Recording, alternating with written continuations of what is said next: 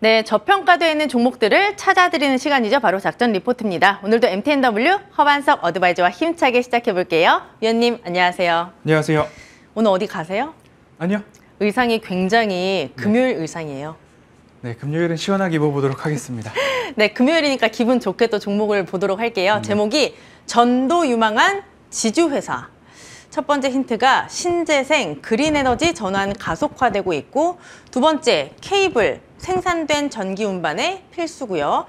아, 마지막으로 계열사가 탄탄합니다. LS 일렉트릭, LS 전선, LS 꼬동 재련 그리고 LS 리꼬동 재련. 아 리꼬동 재련, 네. LS IND, LS 엠트론 알겠는데 그래도 힌트 주세요.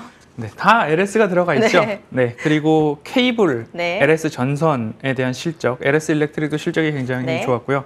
LS랑 니코가 합병으로 합산해서 어. 만든 회사라고 해서 LS 니코 동제련, 아. 동을 제련하는 회사다라고 동제련. 보시면 되겠습니다. 네, 지주회사니까 LS겠죠. 네, 맞습니다. 오랜만에 이 지주회사를 가져오셨는데 네. 또 설명해 주시죠. 네, 그 시장이 좋지 않을 때 저평가 그리고 valuation 할인율을 50% 이상을 해도 어, 저렴했던 지주회사들 참 많이 다루었었습니다. 하지만 아껴두었던 종목 중에 하나가 LS라는 점 참고를 해보시면 좋을 것 같고요. 어, 탄탄한 자회사들이 있습니다. LS 일렉트릭, LS 니코동 제련, 제련 그리고 일렉트릭 사업부 지금 말씀드린 회사들이 어, 전선 그리고 특수 케이블, 해저 케이블, 초고압 케이블, 전선 사업부, 일렉트릭 사업부라고 하면 계량기, 배전반, 인버터 관련된 부분, 엠트론 사업부는 트랙터 관련된 거, I&D 사업부는 부동산 개발 사업을 하고 있는 것으로 이렇게 사업 부분을 좀 나눠볼 수 있고요. 지주 회사이기 때문에 이러한 어, 관계 계열사들의 사업 부문을 설명을 좀 드릴 수 있었고요. 주요 계열사는 전선 쪽으로는 GS건설, LG전자, 한국전력 그 외에 해상 케이블 발전을 하고 있는 뭐 대만, 덴마크 등지의 어, 발전 사업들이 있을 것 같고요. 일렉트릭 사업부 하면 한국전력, 한국가스공사, 조선업체들이 있고요. 그리고 엠트론, 트랙터 관련하면 농협이나 삼성전자, LG전자 같이 협업하는 부분들이 있을 겁니다. 음, 상장 계열사들이 한 곳 딱 있죠. LS 일렉트릭입니다. 지분율 47.3%를 가지고 있고요.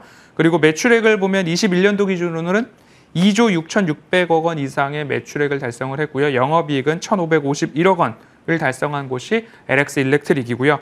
비상자 계열사 중에는 LX 전선이 있습니다. 음, 지분율은 91.3%를 보유하고 있고요. 특히 LX 니코 동재련 같은 경우에는 50%의 정확히는 50.1%의 지분을 보유하고 있는데 매출액이 9조 9천억 원을 어, 지난해 기록을 했습니다.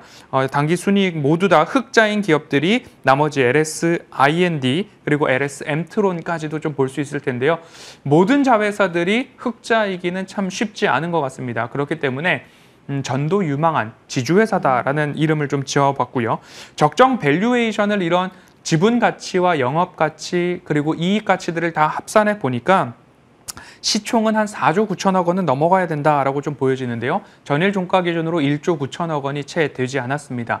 그러면 한 80% 가까운 70% 가까운 할인율을 적용을 할 수도 있을 것 같습니다. 지금 주가가 조금 오늘 시세를 좀 받는 모양인데요.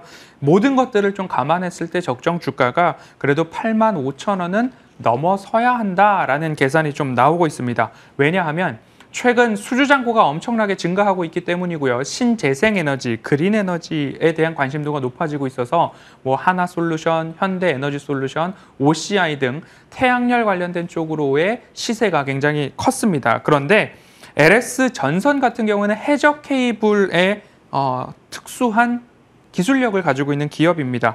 예를 들어서 태양열이나 해저 케이블, 해저 해상 풍력 발전에서 전기를 생산을 했습니다. 그러면 그 전기를 육상으로 운송을 해야 되는데 거기에는 필수적으로 케이블이 들어가야 된다라는 점 참고를 해 보시면 좋을 것 같습니다. 그래서 유럽, 중동아시아 신재생에너지 바람 불고 있습니다. 특히 해상 풍력 발전의 건설 비중이 높은 곳들이 유럽, 중동아시아 쪽인데요. 해적 케이블에 대한 수요 증가하고 있다라고 보시면 좋을 것 같고요.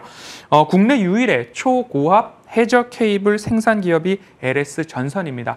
빠르게 수주 잔고에 대한 이야기 좀 드리면요. 대만 정부 주도로 2035년까지 15기가와트시 해상 풍력 발전 단지 개발 중인데요. LX 전선이 최근 3년간 대만에서 나오는 초고압 해저 케이블 사업 모두 다 수주했습니다.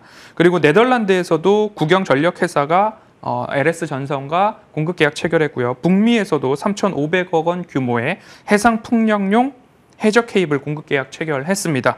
캐나다, 덴마크 모든 것들을 다 포함했을 때 화면에서 보시다시피 1분기 기준 수주 잔고 5조 4,700억 원 넘어가고 있다라는 점 참고를 해보시면 왜, 아, 왜 전도 유망한 지주 회사인가 이해가 되실 듯 싶습니다. 네, 가격에 대한 얘기까지 들어볼게요. 네. 차트를 먼저 좀 보도록 하겠습니다. 오늘 실적 뭐 LS 일렉트릭 실적 때문인지는 몰라도요. 여기서부터 이 정도 주봉 오. 어, 중반까지 올라왔습니다. 그런데 이 기업에 대해서 적정 valuation의 70%, 60%의 할인율을 적용해도 아직 한참 남아 있다. 그리고 적정 주가 8만 5천 원, 8만 8천 원 넘어서야 된다라는 리포트 나와 있기도 하고요. 심지어는 12만 6천 원까지에 대한 핵심 포인트도 니코동 제련의 추가 지분 인수 관련된 이슈 있습니다. 그 부분 오늘 저녁 7시에 공개 방송에서 조금 더 자세히 살펴드릴 거고요. 1차 목표가 8만 원 정도 좀 제시를 해드리고 싶습니다. 어, 방송에서 7만 5천 원 말씀을 드리고요. 그리고 매수가가 5만 7,500원 말씀을 좀 드렸는데 5만 8천 원과 가장 가까울 때는 차근차근 모아가셔야 된다. 그리고 장기적으로 보시면 좋겠다라는 전략 말씀드리고 싶습니다. 네, 오늘 공개 방송 있죠? 간단하게 말씀해 주시죠. 어, 오늘 이 LS에 대해서 이야기를 많이 못 드렸습니다. 시간 관계상 더 자세한 이야기 니코 동재련 지분 인수 관련해서 말씀을 드리려고 하고요. 시장 남은 하반기 22년도 초과 수익과 계좌 복구를 위해서 어떤 일을 해야 하는가 제대로 시장을 좀 보셔야 된다라는 말씀 드리고 싶고요. 외국인 수급과 발목과 무릎 코스닥 800 눈 깜, 딱 감고 보자라고 하니까 지금 이미 그 시간에 도달을 했습니다. 오늘 저녁 추가적으로 전략 말씀드리도록 하겠습니다. 네, 시간이 부족해서 조금 아쉬운데 오늘 온라인 방송 많은 관심 부탁드리겠습니다. MTNW 허반석 어드바이저와 함께했습니다. 고맙습니다.